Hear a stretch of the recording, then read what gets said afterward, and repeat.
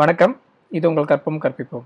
நம்ம ப்ரீவியஸ் வீடியோவில் ஷிஃப்ட் யூஐயில் நம்ம வந்து எப்படி ப்ளே ப்ளே கிரவுண்டில் வந்து ஒர்க் அவுட் பண்ணி பார்க்குறது ஒர்க் பண்ணி பார்க்குறது அப்படின்றது நம்ம காமிச்சிருந்தோம். ஸோ இந்த வீடியோவில் வந்து நம்ம எப்படி வந்து ப்ராஜெக்டாக க்ரியேட் பண்ணி எப்படி ஒர்க் பண்ணுறது அப்படின்றத நம்ம பார்க்க போகிறோம் ஸோ அதுக்கு first Xcode new project playground பதிலாக ப்ராஜெக்ட்டு இதில் நீங்கள் எது வேணால் எது கிளிக் பண்ணாலும் உங்களுக்கு வந்து ஷிஃப்ட் வேல நம்ம வந்து யூஸ் பண்ணிக்கலாம். பட் இதில் வந்து இப்போ வந்து நான் வந்து ஐஓஎஸ் சிங்கிள் வியூ ஆப் அப்படின்றது செலக்ட் பண்ணி நெக்ஸ்ட் கொடுத்து ஷிஃப்ட் யூஐ செட்டப் அப்படின்னு சொல்லிட்டு ப்ராடக்ட் நேம் கொடுத்துக்கிறேன்.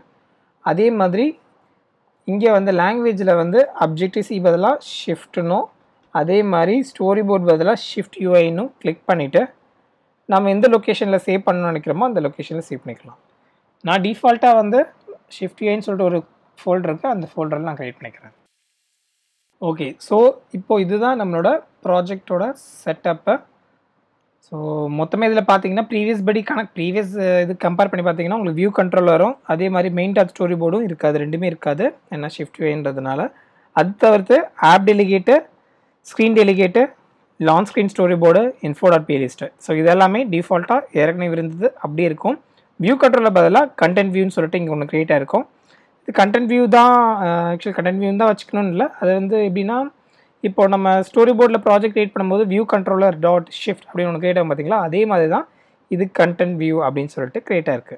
அண்டு ரிவ்யூ கண்டென்ட்டு அது ஒரு அசட் ஃபைல்ஸ் அதே மாதிரி நம்மளோட ஆப்போட டாட் ஏபிபி ஃபைலில் இப்போ இங்கே பார்த்தீங்கன்னா இது ஃபைல்ஸ் இருக்கும். ஸோ ஃபைல்ஸ் பக்கத்தில் உங்கள் ப்ரிவ்யூஸ் கேன்வாஷோட ப்ரிவ்யூ இருக்கும். ஸோ இங்கே டிக் அண்ட் டிக் பண்ணிங்கன்னா உங்களுக்கு அதுக்கேற்ற மாதிரி வந்துட்டு வந்துட்டு போகும். வந்துட்டு வந்துட்டு போகும். ஸோ கேன்வாஷில் தான் நம்ம வந்து செக் பண்ண போகிறோம் அதே மாதிரி இந்த நம்ம ரைட் ஹேண்ட் சைடில் பார்த்தீங்கன்னா இங்கே வந்து ரெசியூம் இருக்கும். ஸோ ரெசியூம் கிளிக் பண்ணிங்கன்னா ஸோ என்ன வியூ இருக்கோ ஸோ என்ன நம்ம இங்கே இருக்கோ அதை வந்து அப்படியே இங்கே வியூ ஆகும். அதே மாதிரி இங்கே பார்த்தீங்கன்னா சேம் என்ன சிமுலேட்டர் வேணும் எதனா சூஸ் பண்ணணும் அப்படின்ற மாதிரி இருந்ததுன்னா நீங்கள் இந்த சிமுலேட்டர் சூஸ் பண்ணிக்கலாம். சூஸ் பண்ணும்போது அந்தந்த சிமுலேட்டருக்கான சைஸு ஆட்டோமேட்டிக்காக இங்கே வந்துடும் நீங்கள் மேபி ஸ்டோரி போர்டில் பழைய ஸ்டோரி போர்டு நம்ம ஸ்டோரி போர்டை டிசைன் பண்ண பார்த்துருப்பீங்க. கீழே வந்து பார்த்தீங்கன்னா உங்களுக்கு வந்து எந்த டிவைஸ் வேணும்னு சூஸ் பண்ணுறது இருக்கும். ஸோ அந்த அந்த சூஸ் வந்து இங்கே கொடுத்துட்டாங்க. ஸோ இப்போ முதல்ல ரன் ஆகி வரட்டும். பார்க்கலாம். ஸோ இப்போ பார்த்தீங்கன்னா இங்கே உங்களுக்கு ப்ரிவ்யூ வந்திருக்கும்.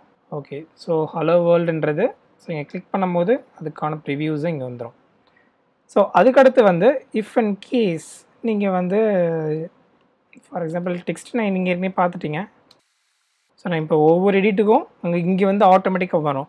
ப்ரீவியஸ் இதில் பார்த்தீங்கன்னா உங்களுக்கு வந்து நம்ம ரன் பண்ணணும். ஸோ கிளியர் கீழே கிளிக் பண்ணி ரன் பண்ணணும். ஸோ பட் அந்த மாதிரி இது விஷயம் வந்து இங்கே இல்லை. ஸோ டைப் பண்ண டைப் பண்ண அதுக்கேற்ற மாதிரி வேல்யூ வரும். அதே மாதிரி ஸோ டைட்டிலு ஸோ டைட்டில் கொடுக்கும்போது ஆட்டோமேட்டிக்காக டைட்டில் வந்துடும்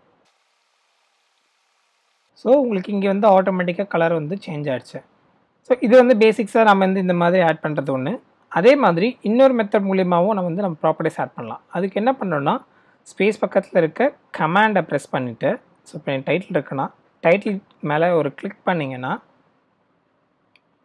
நம்ம ஷிஃப்ட்லலாம் வந்து என்ன பண்ணோம்னா jump jump to definitions show quick help callers edit all all in scopes இந்த மாதிரி நிறைய இருக்கும் உங்களுக்கு. ஸோ அந்த மாதிரி ஒரு சில விஷயங்கள் இருக்கும். அது எல்லாமே இங்கே வந்து எக்ஸ்ட்ராவாகவே இருக்கும். இதில் ஷோ ஷிஃப்ட் யூஐ இன்ஸ்பெக்டர் அப்படின்னு சொல்லிட்டு ஒன்று இருக்கும். ஸோ அதை டேப் பண்ணிங்கன்னா இந்த மாதிரி ஒரு விண்டோ உங்களுக்கு ஓப்பன் ஆகும். ஸோ இதில் வந்து நீங்கள் என்ன எடிட் பண்ணணும்னு நினைக்கிறீங்களோ எல்லா எடிட்டும் ஆட்டோமேட்டிக்காக சூப்பராக ஈஸியாக நமக்கு வந்து இங்கே எல்லாமே நடந்துகிட்ருக்கும் ஸோ இப்போ நான் வந்து நான் பண்ணுறேன் பாருங்கள் ஹெவி ப்ளூ ஆரஞ்ச் ஸோ இந்த அந்த மாதிரி வெயிட்ஸ் எல்லாமே சேஞ்ச் பண்ண சேஞ்ச் பண்ண ஆட்டோமேட்டிக்காக இங்கேயும் வந்து இந்த கோட்லேயும் சேஞ்ச் ஆகும் ரிவ்யூலையும் சேஞ்ச் ஆகும். அதை நான் இதில் தான் கமெண்ட் ப்ரெஸ் பண்ணி பண்ணுவோம் அப்படின்ற மாதிரிலாம் கிடையாது. ஸோ இங்கே இதில் கிளிக் பண்ணிவிட்டு ஓ சாரி ஸோ இந்த சைமெண்ட் வந்தீங்கனாலும் இங்கேயும் வந்து உங்களுக்கு ஆக்சசபிள்ஸ் இருக்கும். ஸோ ஃபார் எக்ஸாம்பிள் வந்து நான் பேடிங் ஆட் பண்ணுறேன் அப்படின்னு வச்சுக்கோங்க. Sixteen top sorry first sixteen add பண்ணுவோம். ஸோ சிக்ஸ்டீன் இங்கே ஆட் பண்ணவும் சடனாக இங்கே பேடிங் உங்களுக்கு இங்கே ஆட் ஆகும். ஆட் ஆனதுக்கப்புறம் இங்கே ப்ரிவியூவில் ஆட்டோமேட்டிக்காக இங்கே ப்ரெசென்ட் ஆகும்.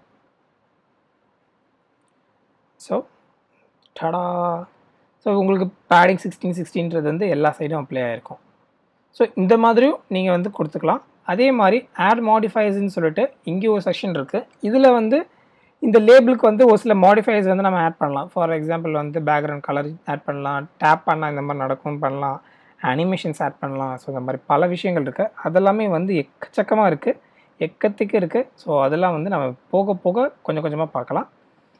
இப்போது வந்து நம்ம என்வரான்மெண்ட் செட்டப் பற்றியே நம்ம இன்னும் கண்டினியூ பண்ணி பார்க்கலாம். ஸோ இப்போ டெக்ஸ்ட் ஆட் பண்ணியாச்சு. ஸோ அதே மாதிரி வந்து நம்ம டெக்ஸ்ட்டுன்னு டைப் பண்ணி தான் ஆட் பண்ணணும்னு அவசியம் இல்லை. நம்ம இங்கே சர்ச் பண்ணி நம்ம இது பண்ணலாம். ஸோ ஃபார் எக்ஸாம்பிள் இங்கே இருக்குன்னா இந்த மாதிரி சர்ச் பண்ணி ட்ராக் அண்ட் ட்ராப் பண்ணி போட்டாலே ஆட்டோமேட்டிக்காக உங்களுக்கு வந்து வேல்யூஸ் வந்து இங்கே ப்ரெசென்ட் ஆகும். ஸோ இந்த மாதிரி.